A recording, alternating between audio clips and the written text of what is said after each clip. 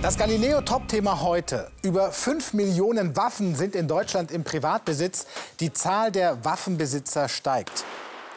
Inzwischen gibt es sogar die German Rifle Association, GRA. Das erinnert irgendwie total an die extrem mächtige Waffenlobby NRA in den USA. Wer steckt hinter der deutschen Waffenlobby und was wollen die? Bei solchen Bildern denkt man an die USA. Aber wir sind nicht in Texas, sondern in Baden-Württemberg, in Deutschland. Bisher hat das Thema Waffen bei uns im Alltag kaum eine Rolle gespielt. Aber das ändert sich gerade. Die Anzahl der Waffenbesitzer ist in Deutschland in den letzten Jahren angestiegen. Und wenn es nach der GRA, der German Rifle Association, geht, könnten es mehr werden. Ich fände die grundsätzliche Lösung den Bürgern zuzugestehen, nach qualifizierter Ausbildung eine Waffe zu tragen, ziemlich gut. Aber wer ist das, die GRA? Wir sind in Wiesloch beim jährlichen Spring Break der GRA, einem Treffen von Sportschützen und Waffenbesitzern.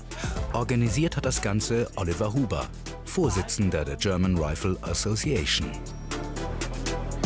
Was ist denn die GRA? Die German Rifle Association ist eine Interessengemeinschaft von Leuten, die sich für Waffen interessieren oder auch für den Umgang mit Waffen. Warum braucht es eine solche Interessengesellschaft? Äh, weil der Umgang mit Waffen oder Waffen an sich in einem ganz hohen Maße durch Medien und durch Politik mythologisiert worden sind. Aus dieser Dunkelzone und aus dem Image, alle Waffenbesitzer sind im Prinzip einer psychischen Störung unterlegen, rauszukommen, den Leuten die Möglichkeit zu geben, zu sehen, das sind ganz normale Menschen. Die gehen einfach einem Hobby nach. Diese Möglichkeit wollen wir den Menschen geben. Die GRA ist also eine Interessengesellschaft von Waffenbesitzern, wie die amerikanische NRA. Sie will informieren. Die GRA hat erkannt, dass das Interesse an Waffen auch bei uns zunimmt. Dabei ist es in Deutschland, anders als in den USA, sehr schwer, eine Waffe zu bekommen. Bei uns ist das so. Waffen besitzen darf nur, wer eine Waffenbesitzkarte hat. Die bekommt nur, wer ein waffenrechtliches Bedürfnis hat, also einen Grund, eine Waffe zu besitzen. In der Praxis sind das Jäger, Sammler oder Sportschützen. Führen, also bei sich tragen, dürfen sie ihre Waffe aber nicht. Das darf nur, wer einen Waffenschein besitzt. Den bekommen Privatpersonen quasi nie. In der Praxis haben ihn hauptsächlich Angestellte von Sicherheitsunternehmen. Nicht alle, die heute hier sind, sind Unterstützer der GRA, aber alle sind Sportschützen. Insgesamt gibt es in Deutschland über eine Million, eine große Zahl. In den unterschiedlichsten Disziplinen betreiben sie das Schießen als leistungsorientierten Sport. Dazu gehört der Wettkampf mit dem Luftgewehr genauso wie das Schießen mit großkalibrigen Waffen. Die Sportschützen sind auch schon lange in eigenen Verbänden organisiert.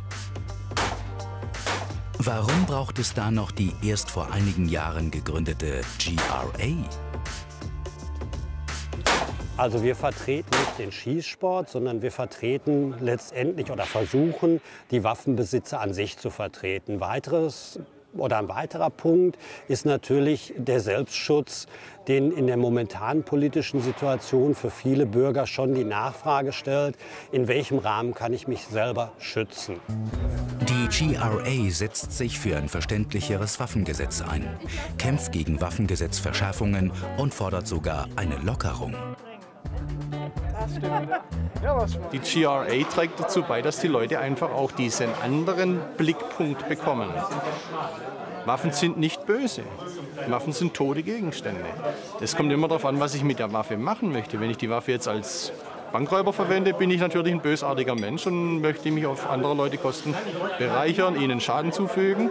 Und dann gibt es Leute, die wollen sich einfach nur gegen solche Leute wehren können. Und wie sollen sie das machen, wenn sie von vornherein ausgeschlossen werden, mit entsprechenden Mitteln sich wehren zu können? Es geht um Menschen, die aus rechtlicher Sicht zuverlässig sind. Das bedeutet also auch Menschen, die nicht vorbestraft sind und die mit ihren Waffen, die sie berechtigt besitzen, auch verantwortungsvoll umgehen. Und äh, diese Menschen stellen keine Gefahr in der Gesellschaft dar. Statistiken zeigen, die Zahl der Waffenverkäufe und der Waffenbesitzer ist bei uns in den letzten Jahren zwar angestiegen, aber noch haben Waffen in Deutschland nicht den gleichen Stellenwert wie in den USA.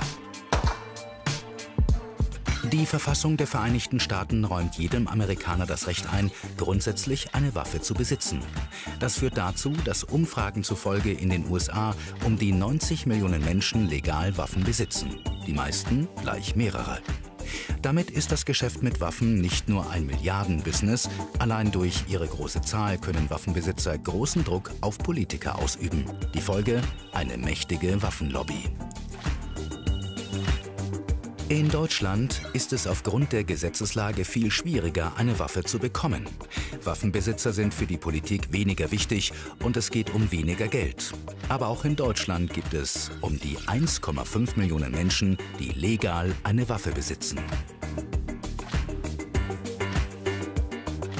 Die GRA betreibt regelrecht Imagearbeit für den Waffenbesitz.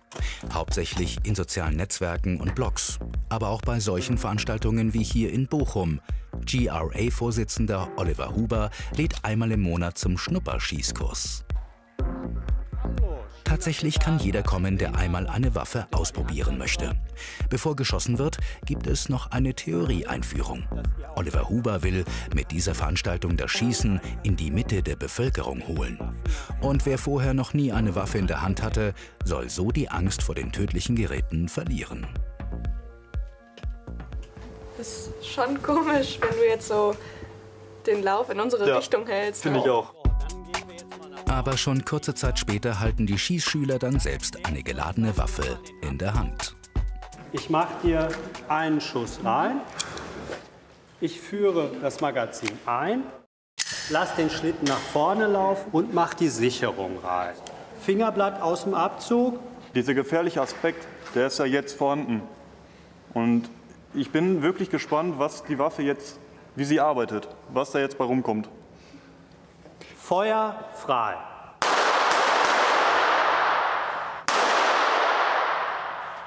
Cool.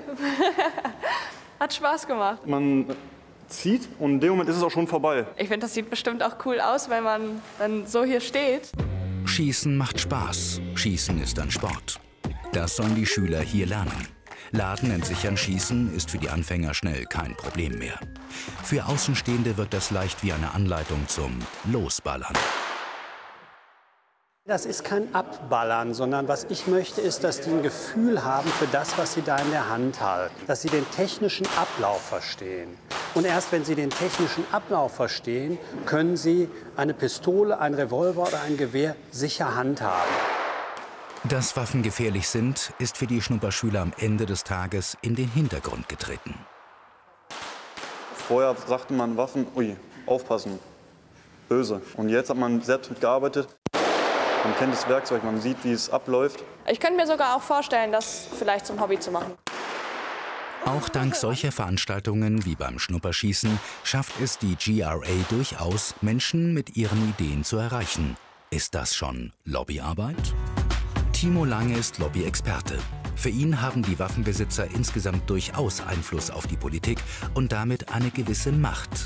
Die GRA selbst hat seiner Meinung nach allerdings noch nicht genug Unterstützer.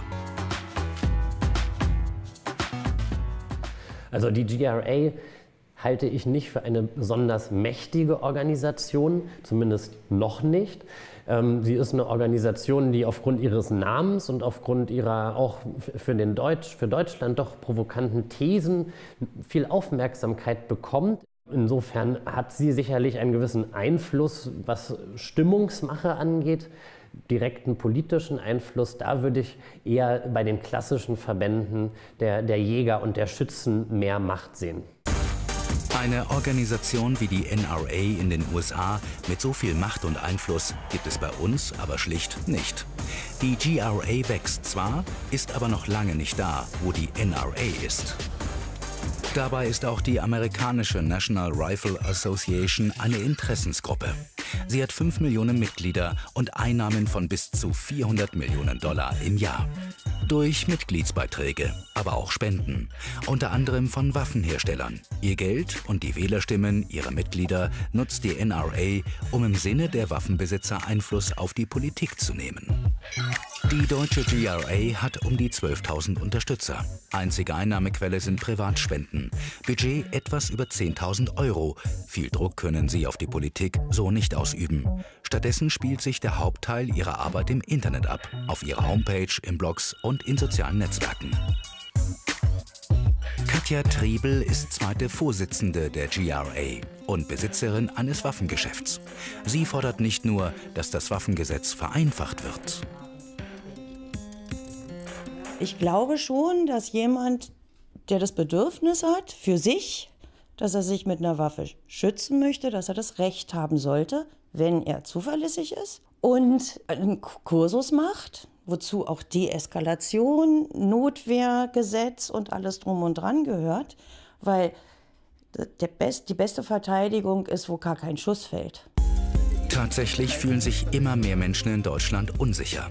Das zeigt die steigende Zahl von Besitzern des kleinen Waffenscheins. Den braucht, wer eine Schreckschuss- oder Gaspistole in der Öffentlichkeit tragen möchte. Begründet ist dieses Unsicherheitsgefühl nicht. Neueste Statistiken zeigen, die Zahl der Straftaten in Deutschland ist so niedrig wie seit fast 30 Jahren nicht mehr. Also ich habe kein Bedürfnis, eine scharfe Waffe zum Selbstschutz zu haben, aber Sie bestimmt auch nicht. Aber wir beide haben bestimmt weder Morddrohungen bekommen, noch sind wir zusammengeschlagen worden. Es gibt einfach unterschiedliche Situationen. Es werden nicht alle Leute sich eine zum Selbstschutz kaufen, selbst wenn es erlaubt wäre. Das macht man, wenn man das Bedürfnis hat. Der Staat erkennt dieses Bedürfnis aber nicht an. Und das ist das Problem. Katharina Schulze ist Fraktionsvorsitzende der Grünen im Bayerischen Landtag. Sie beschäftigt sich intensiv mit dem Thema Waffen und sieht das grundlegend anders. Ich bin fest davon überzeugt, dass wir hier in so einem sicheren Land leben, liegt unter anderem daran, ähm, dass äh, wir da klare Regelungen haben, wer Waffen besitzen darf und wer nicht. Und wir eben nicht die Kultur haben, jeder läuft, ich übertreibe jetzt mit einer eigenen Knarre in der Hand oder an der Hüfte herum. Und ich glaube, das ist richtig und das ist gut, weil äh, wir brauchen keine selbsternannten Sheriffs, wir brauchen keine Bürgerwehren. Ähm, dafür haben wir die Polizei. Das deutsche Waffengesetz zu lockern, kommt für Katharina Schulze nicht in Frage. Von den Befürwortern wird ja ganz oft gesagt, dieses mehr Waffen bedeutet mehr Sicherheit ganz ehrlich, das ist einfach falsch. Da gibt es ein ganz äh, schlimmes äh, praktisches Beispiel und das ist der Blick in die USA. Da haben sehr viele Menschen sehr viele Waffen und es gibt auch sehr viele Verletzte und sehr viele Tote. Und das ist für mich ein so abschreckendes Beispiel, dass ich sehr froh bin über strenge Waffenregelungen. Äh, ich glaube, das tut unserer Gesellschaft gut. Die Zahlen zeigen, dass Deutschland sicher ist. Weil sich trotzdem immer mehr Menschen unsicher fühlen, trifft die GRA mit ihrer Forderung nach einem liberaleren Waffengesetz dennoch den Nerv der Zeit. Der Einfluss der Gruppierung ist allerdings noch nicht mit dem der mächtigen NRA vergleichbar.